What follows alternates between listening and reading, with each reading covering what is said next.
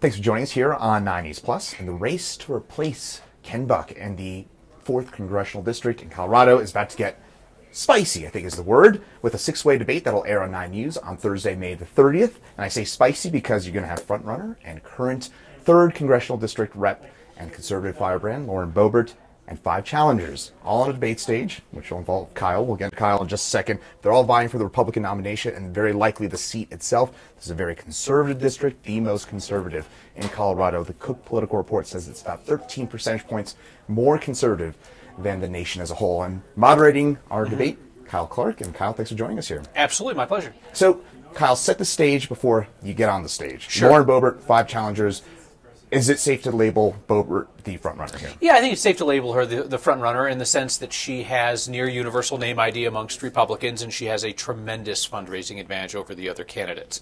And then she's got this quasi incumbency stand. Uh, you know, she's she's a sitting congressperson running in another district because she fled her district because she almost got upset there two years ago and was going to face that same person again this time. Uh, stood a decent chance of losing, so she changed districts and, and, came to this newer, safer district for Republicans. So yeah, she's the front runner.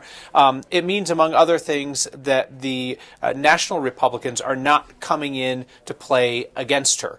Uh, they're considering her an incumbent for the purposes of this race the large field also really works to her advantage because there are going to be people who uh, don't care for Lauren Boebert, want to vote against her, and they've got five other options to split that vote.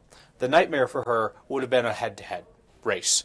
Uh, she doesn't have that. She has a big field, and certainly a lot of political, political observers think that she can cruise in a hmm. big field unless one of the other candidates can really consolidate the non Boebert vote. Is it safe to say, similar to what we saw uh, at the GOP assembly in Pueblo, where Boebert took a little over 30% of the vote, where she gets 30% and the other five split get 10, 15% apiece? Is that the case potentially here? I certainly think that could happen. Now, here's what we should note there has not been any publicly released polling. Hmm. Uh, Boebert's folks have alluded to the idea that she's up in polling. Uh, that's polling that they've seen that we have not publicly seen, and, and campaign internal polling is not something that we would really rely upon uh, for accuracy. But it's, it stands to reason on its face that she would be a strong frontrunner. That said, it's also pretty clear from some public opinion polling in Colorado that a lot of Republicans have soured on Lauren Boebert. That they just they're tired of her shtick, right? You know, um, and that they're looking for an alternative. But again, you've got five other options in that race, and are all of the people who are tired of Lauren Boebert's shtick going to stick to somebody else, or are they going to disperse and allow her to walk through, potentially winning just 30% of the vote? Tell us about these five challengers because we're going to probably get to know them, I would imagine, on May the 30th mm-hmm. here during the debate. Um, any one of them that sticks out, and do you anticipate that they're going to be attacking Boebert because she's the frontrunner? You, know, I think it kind of remains to be seen what that looks like. Some of them clearly want to take on Boebert directly. Some of them want to make more of kind of an oblique, softer case about why they're different. You know, mm. uh, you know, more policy, less show. You know, less social media theatrics, more you know, focus on the issues, that kind of thing. Um, so when you look at the five challenge, challengers out there, the least known, least resourced of any of them is, is Peter Yu. Then you've got Mike Lynch, who used to be the minority leader at the State House until it came out that he had concealed a drunk driving arrest from his Republican colleagues and others at the legislature. He ended up stepping down, holding on to his seat in the legislature, but stepping down from leadership, despite the fact that this, this drunk driving arrest and him keeping it quiet came out he stayed in the in the race for Congress, which some might think is kind of a baffling decision, right? You know, his his political standing within uh, his party kind of collapsed all of a sudden. He's he's still in the race. Then you've got Richard Holtorf, who is another state rep there at the Capitol, probably best known for his chronic case of foot and mouth syndrome. Uh, he has said some pretty astonishing things over the years. Uh, he's compared people with disabilities to those who get injured running with the bulls in Pamplona, Spain. Uh, he told a colleague whose son was killed in the Aurora Theater shooting that he needed to let go of his son's death. He called a colleague of color during a floor debate buckwheat. Um, he, he talked about um, a series of women that he's impregnated in his life and how one of them had an abortion and how it was a great thing for her and how he gave her some money and then immediately had to backtrack because he's very anti-abortion to be like, well, I didn't pay for the abortion. I just gave her money after she had the abortion. So, so anytime Richard Holtorf is speaking, you could be in for a wild ride. Um, so uh, he's gonna he's gonna be there.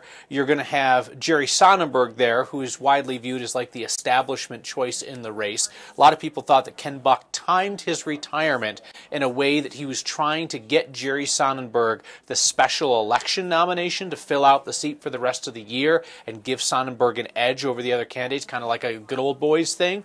That blew up on them because a number of the candidates, including Lauren Boebert and Deb Flora, who we'll talk about in a moment, said, I'm not going to run for the special election nomination.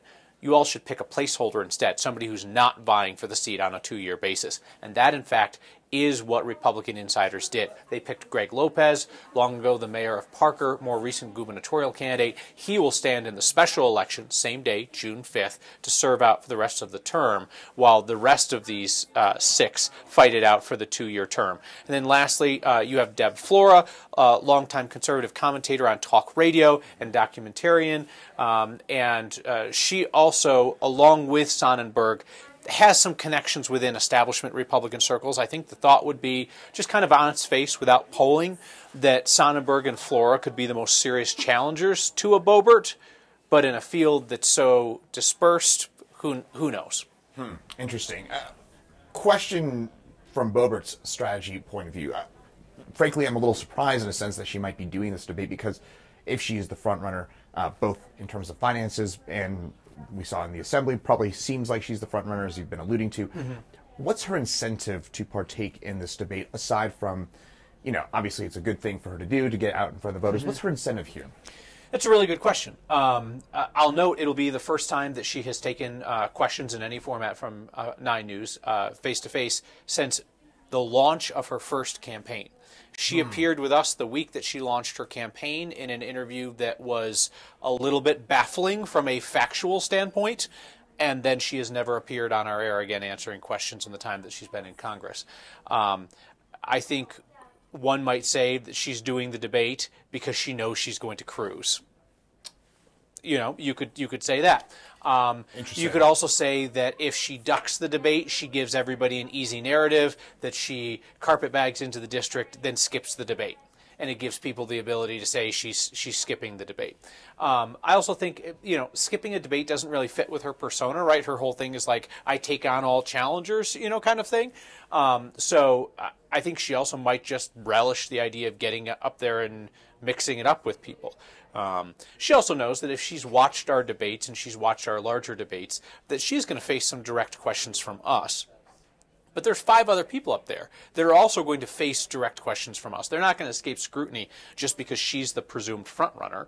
And a lot of the conversation is going to be among the people on the stage. So if if she's looking for a way to, you know, spend an hour in the cozy confines of Nine News and only get a couple of direct questions, a six-way debate's a good way to do it. That's a fair point. So there's there's five reasons why she might be doing the debate. Part of the reason I'm asking this is I'm kind of thinking of a lot of what you said and when you were laying out the kind of different lanes about these different challenges. Uh, it reminded me a fair bit of the Republican presidential um, no- nomination contest. Obviously, obviously, Donald Trump wins that, and Boebert seems to be almost in a bit of a Trumpian mold. The front runner heading in, kind of that hard 30, 35 percent perhaps uh, ability to grow it. And I say that the one big difference is that Trump did not debate um, in the Republican presidential contest. Yeah, um, I mean, I, I know that's. yeah, I see what you, I see what you're saying, and she has the Trump endorsement which no doubt she will lord over everybody else in the race, as they would over her if they had the mm-hmm. Trump endorsement, right? Um, she has the Trump endorsement. That's another thing that's that's huge when you look at who is a presumed frontrunner. She has the endorsement of the Colorado Republican Party, which has dropped its long-standing neutrality rules for primaries so that the party can endorse its own chairman, Dave Williams, who's running in a different congressional district, but they also happen to endorse Lauren Boebert in in this race. Um, so I, I think you know, in in a way, she is she is the kind of the most Trumpian candidate candidate in the race. There are several others that would probably like to claim that mantle, but they can't they can't out Trump Lauren Boebert, right? I mean, you know, and and remember, she got into Congress by promising that she would be more loyal to Trump than Scott Tipton, the sitting congressman who was the co-chair of the Trump campaign in Colorado. And Republicans loved it. And they, they put her in office and helped keep her in office. Um, so I think I think you'll hear uh, Trump's name a lot uh, from her. I think you'll hear it from some of the other candidates. But there has been a little bit of separation from people like Richard Holtorf, who's a very hard right guy himself, but has said lockstep with Trump is not how Republicans win in Colorado. You know, hmm. Trump friendly candidates in Colorado have gotten smoked in recent years. Um, Boebert is making the calculation that this district is so safely Republican that a full on embrace of everything Trump can't do her any harm. And she's probably right. Um, do you expect lots of fireworks on the stage?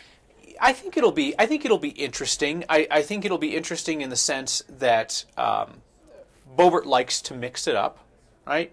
Then you look at the other people up there on the stage. If you're Jerry Sonnenberg and you've got the old guard of the Republican Party behind you, this is an opportunity to kind of lay down and just be like, this is what we stand for.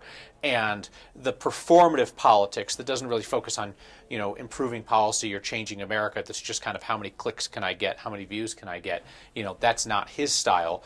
But he has an opportunity to say that to her face in this debate. Um, you've got Holtorf up there. Again, roller coaster ride anytime this man opens his mouth. Um, and then you got Deb Flora, who, with her background in um, talk radio and so forth, is probably going to be a pretty skilled debater. Um, I remember watching her in some U.S. Senate primary debates in which she did not make the ballot, so she was in some big debates at the beginning. She's very well spoken. Uh, she's very careful in the things that she says, um, which does not necessarily make for interesting television. Um, but just to say, there's a couple people up there that are either wild cards or people who are going to be very comfortable in that format. So I think it'll be interesting to see. Um, and if you're one of the non-Boebert candidates, what are you going to do to change the race? Right? Right? What, uh, something has to happen to change the trajectory of the race. And one of the few things that has ever shown the ability to change the trajectory of a race is a moment in a debate. So is that what you're watching for? Is to see if one of these five challengers can kind of rise to the top here? Yeah, and just and just see if anybody says anything that's truly memorable or truly seems to stick uh, in terms of a critique of Boebert. I mean, listen she's been critiqued up, down, and sideways by so many people at the mm-hmm. local level, national level, inside her party, outside her party, and none of it sticks her. It's like Donald Trump, right? You know, I mean, think of like, you know, think of the personal scandals that she's had. Think of, you know, the, the false statements that she's made, the derogatory things that she said about people, and like Trump, it only fuels her brand among the people who like that kind of thing in their politics. So it'll be interesting to see if anybody can come up come up with something that truly sticks and damages her, or whether this is a night where we see she's at the top of her game. There's enough Republicans who want that style of politics, and she mops the floor with the rest of them. Anything else we should watch for? Yeah, I just think it, it, will be interesting because we have not had a primary debate on our air in, I believe, six years since the 2018 Democratic gubernatorial primary that Jared Polis won. Um, just because the way that Colorado Dems like to do it is they like to settle their business privately and not have the voters weigh in on it. And uh, this will be, you know, uh, the reason that we're doing this debate is because it's a safely Republican seat. So essentially, the primary is going to determine uh, who holds a seat. And presumably could hold it for life, right? You know, Ken Buck is leaving because Ken Buck wanted to leave Congress. He would have had a really good Republican challenger this year because he had ticked off so many people in the party, but it was his seat to lose because it's such a safe Republican seat. Um, so whoever wins this race could presumably hold the seat for a very long time, uh, assuming that they don't pull a Boebert and make the district more competitive through their behavior, as she did in CD3, and then had to flee. All right, there you have it. Stage is set. Uh, the primary itself is on June 25th, but the more importantly, the debate will take place on May the 30th, Thursday, May the 30th, between 6 and 7 p.m. Kyle, you'll be moderating it. I'll probably be doing the weather, but Kyle, thanks for joining us here on 9 News Plus. Absolutely.